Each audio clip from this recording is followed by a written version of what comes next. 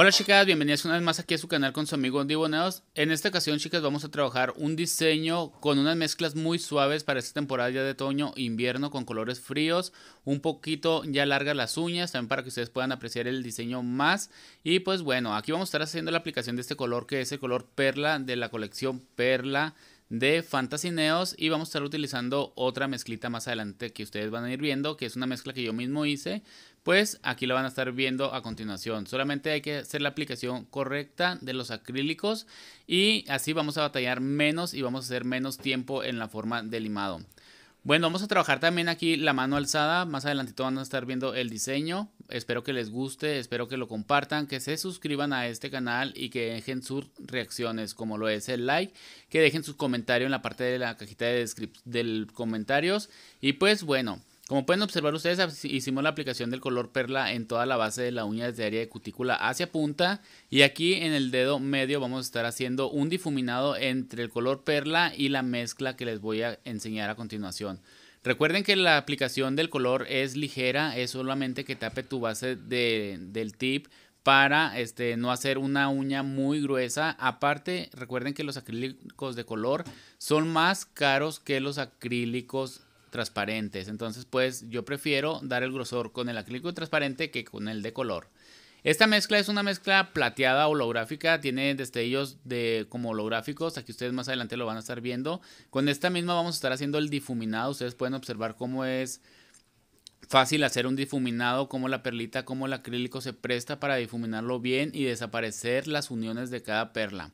Después de hacerlo, vamos a pasar al dedo índice, perdón, y vamos a estar haciendo la aplicación del mismo color perla. Este lo vamos a estar difuminando desde área de cutícula hacia media punta de la uña de plástico, como lo pueden ustedes observar hasta donde nos alcance. Ustedes no se preocupen por difuminarlo, ustedes difuminen bien, bien lo que es su acrílico. Y no se preocupen que con el difuminado de la mezclita vamos a tapar lo que son las divisiones que se puedan llegar a notar. Aquí difuminamos muy bien el color perla acerqué un poquito la cámara para que ustedes puedan apreciar un poquito mejor cómo es que yo hago la aplicación y cómo es que yo agarro el acrílico. Si se fijan y observan ustedes en los videos, ya estamos poniendo los acrílicos para que ustedes vean cómo es que yo agarro lo que es la perlita del acrílico. Aquí vean, apliqué la perlita y después la difuminé muy bien hacia área de peralte, después le di forma a lo que es la punta sin llegar a perder la forma de la uña. Aquí se ha aplicado ya el color, eh, la mezcla, vamos a encapsular. Esa es la mezcla que les decía, chicas, esta mezcla es la que yo hice y este es el color perla de la, de la colección perla de Fantasy Neos. Son colecciones que sacaron anteriormente ellos, pero pues yo todavía las conservo, todavía las tengo aquí en mi local de uñas o aquí en mi mesa de trabajo. Y pues bueno, les doy uso. Aquí estamos encapsulando, si ustedes pueden observar, yo agarré una perlita grande, la empecé a difuminar primeramente hacia área de peralte y después me la llevé hacia área de punta. De esta manera es la forma en que yo encapsulo y la que más me ha funcionado. Después voy a encapsular lo que es casi llegando a cutícula. Vamos a difuminar un poquito hacia atrás y vamos a presionar para sellar muy bien la zona. Recuerden que ustedes deben de sellar perfectamente la zona de cutícula porque si no puede haber levantamiento prematuro en esa zona y las uñas pues se van a levantar por sí solas. Vamos a difuminar los laterales, así como pueden ustedes observar, aquí ya encapsulamos. Les mostré solamente una en la que encapsulo y una en la que vamos a estar limando. La forma para limar, chicas, pues la forma es la misma. Vamos a empezar a limar los faldones, después laterales, después punta y este, después le vamos a dar estructura a lo que es la superficie de la uña. En el área de cutícula siempre hay que hacerlo hacia un solo lado. Ustedes más adelantito lo van a estar viendo. Vean cómo aquí, aunque la cámara vaya rápida, se alcanza a notar cómo es que yo este, limo el área de cutícula solamente hacia un lado para este, no llegarme a llevar el color o no llegar a lastimar a la clienta. Después hay que pulir, recuerden que hasta los máster más grandes pulen, así que hay que pulir muy bien lo que son las uñas para que este trabajo se vea más presentable, más bonito. Y pues así la clienta se vaya muy muy satisfecha. Hay que quitar filos por debajo de la punta y de los faldones para evitar dejar las uñas filosas y que la clienta vaya a rasguñar a alguien pues por accidente, ¿no? Vamos a empezar a hacer lo que es el trabajo aquí de la decoración. Aquí les muestro las uñas como están limadas y pulidas. Después vamos a empezar a decorar. Vamos a decorar, chicas, con este pintura acrílico. No es pintura, es como un esmalte en color rojo. Vamos a estar haciendo unas rosas. Vean cómo yo hago las manchitas así todas feas, así. No, no es necesario que lleven un patrón ni nada. Ahorita más adelante van a ver ustedes cómo le vamos a dar la formita. Y bueno, hicimos la primer, el primer manchón y después vamos a hacer la siguiente mancha. Vamos a hacer la mancha así como, como a la y se va, como ustedes puedan.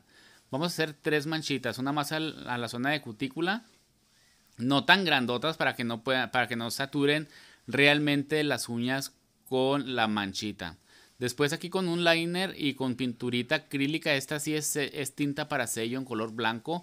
Vamos a estarle dando el efecto de una rosa o la sensación, o como se le puede decir, chicas, como algo así como para que se vea como si fuera una rosa realmente, pero pues todos sabemos que es una mancha solamente de, pintura. Solamente le estamos poniendo estas partecitas para este, pues que se vea como la rosa que les dije yo, ¿no? Anteriormente. Ahora, chicas, ahí vean cómo me quedó bonita esa rosita. Pues ahorita la voy a regar muy mucho, porque ahorita van a ver ustedes cómo la aplasté con uno de mis dedos, ni supe ni cuál de los dedos fue el que hizo el desastre. Así que ustedes aquí en cámara vamos a descubrir juntos cuál fue el dedo con el que yo lo aplasté. Ya lo vi. Fue con el dedo anular de la mano derecha. Es con el que hice el desastre. El desastre, vean, vean. Ni, me, ni siquiera tengo cuidado ahí. Pero bueno, ya lo, ahí lo recuperé.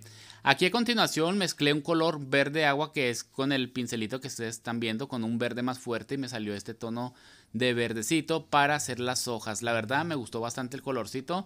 Lo que no me gustó mucho chicas de estas pinturitas es que secan muy rápido. No más la blanca que es la tinta para sello como que me da más tiempo de trabajar, más tiempo de, de, de ¿cómo se llama? De yo echar a volar mi mente de lo que quiero hacer. Y ya ven que pues uno para echar a volar su mente pues tiene que trabajarle, chicas. Entonces tenemos que tener algo que nos ayude como que secado menos rápido. Vean, aquí estamos haciendo la, segunda hojita de esta florecita, de esta rosa que estuvimos haciendo.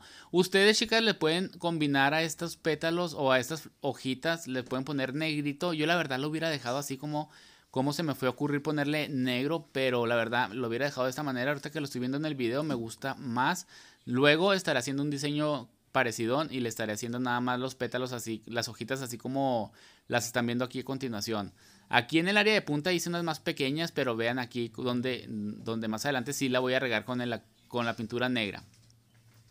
La verdad me hubieran gustado más si no le hubiera puesto la pintura negra, pero ya saben que uno es decidioso y uno de repente saca cada cosa y resulta que el último, en vez de verse mejor el diseño, se ve peor. Pero no, sí quedó bonita. Tampoco se pasen de que va a quedar muy fea. Quedó bonita. Entonces ahí está, miren, cómo le puse las sombritas y todo eso. No le hubiera puesto sombras, chicas, se me hace que se veía mejorcito sin sombras.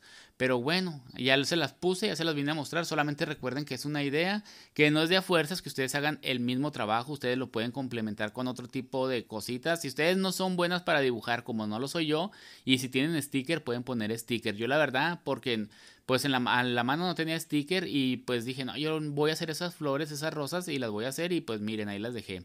Ahora, aquí en el dedo medio, en el dedo índice pusimos unos cuantos cristales en la zona de cutícula.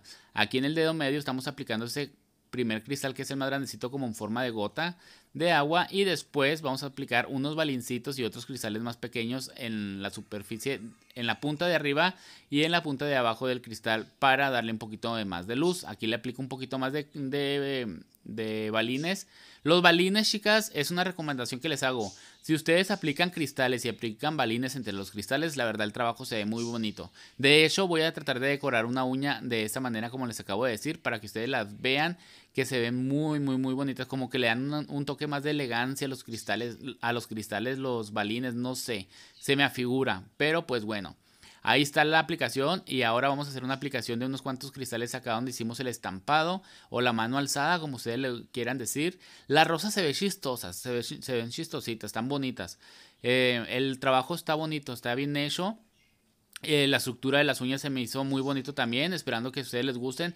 Recuerden suscribirse a este canal, chicas, no les cuesta nada. Dejar un like tampoco les cuesta nada, solamente es presionar el botoncito de suscribirse y el botoncito de like hacia arriba. Dejen sus comentarios en la parte de abajo para yo saber si les gustó o no les gustó, si se las pondrían, si no se las pondrían, o qué le quitarían o qué le pondrían.